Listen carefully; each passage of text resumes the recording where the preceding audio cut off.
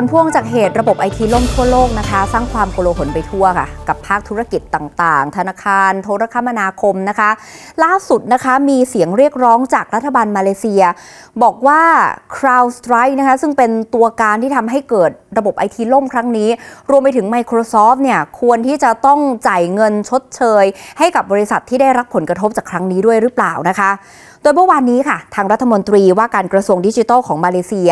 โกบินด์ ซิงห์ ดีโอ เปิดการแถลงข่าวเลยนะคะสำหรับกรณีเหตุระบบไอทีล่มครั้งใหญ่เมื่อสัปดาห์ที่แล้ว ซึ่งสร้างความเสียหายให้กับหลายธุรกิจในประเทศ โดยเฉพาะท่าอากาศยานนานาชาติกัวลาลัมเปอร์ ที่เผชิญกับปัญหาระบบไอทีล่ม จนทำให้การเช็คอินเป็นไปอย่างล่าช้า ผู้โดยสารตกค้างที่อาคารผู้โดยสาร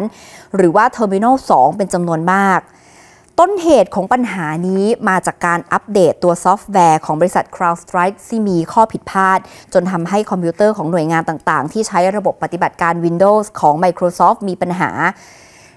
ในส่วนของมาเลเซียเองค่ะ พบว่ามีหน่วยงานรัฐ 5 แห่ง แล้วก็ 9 บริษัทที่อยู่ในธุรกิจการบินธนาคารและบริการสุขภาพได้รับผลกระทบ รัฐมนตรีกระทรวงดิจิทัลมาเลเซียบอกว่า ตัวเองได้ไปพบปะหารือกับตัวแทนจาก 2 บริษัทที่ได้รับผลกระทบจากปัญหานี้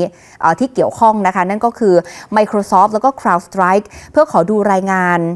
รายละเอียดเกี่ยวกับเหตุการณ์ที่เกิดขึ้น รวมถึงขอให้ 2 บริษัทดำเนินมาตรการเพื่อป้องกันไม่ให้เกิดปัญหาลักษณะนี้อีกในอนาคต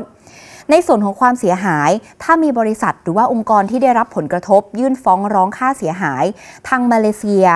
ขอให้ Microsoft และ CrowdStrike พิจารณาเรื่องการชดเชยด้วย และดูว่าจะสามารถช่วยแก้ปัญหาได้ยังไง ซึ่งทางฝั่งรัฐบาลมาเลเซียเอง ก็จะช่วยชดเชย เยียวยาผู้ที่ได้รับความเดือดร้อนในจุดที่เป็นไปได้ อย่างไรก็ตามจนถึงตอนนี้ ยังไม่มีการสรุปยอดค่าเสียหายทั้งหมดที่เกิดขึ้นในประเทศนะคะ ท่าทีของรัฐมนตรีกระทรวงดิจิทัลของมาเลเซียก็จะสอดคล้องกับท่าทีของโทนี่เฟอร์นันเดส CEO บริษัท Capital A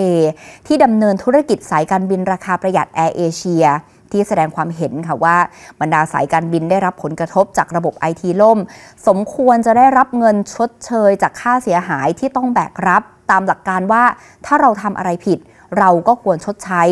ตอนนี้ต้องรอดูว่าพวกเขาจะว่ายังไงกันค่ะ